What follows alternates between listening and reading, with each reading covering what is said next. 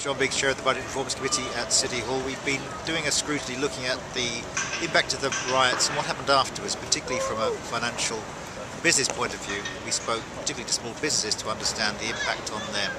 And what we found, for example, was that uh, four months after the riots, one in three businesses still haven't received a penny from their insurers.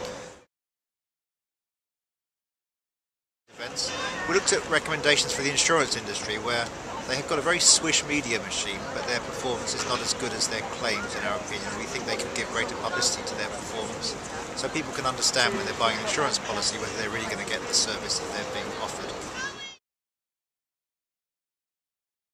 The problem we have is that the Riot Damages Act is administered by public bodies, by the police authority, who have to follow fairly bureaucratic procedures. If it's going to be revised properly and give, give cash where people need it, then we need to learn from the more reactive, the more instant decision making of the private sector. And we think that the revisions to the Act uh, need to try to address that. Otherwise, uh, you'll be giving people compensation after they've gone out of business, which is not a lot of good.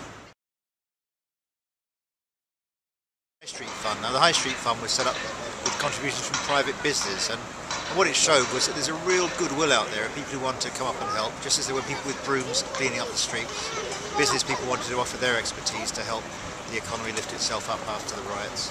And uh, we think there's a role for encouraging that and for coordinating that. And, and what we're doing in December is meeting again to talk with some of our witnesses about uh, about our recommendations and understand how things have moved on. Because I think it's a fact that the, the TV crews were very excited at the time of the riots. Things have calmed down, and a year later, people are still picking up the pieces, and we're there as representatives to try to help them to do that better.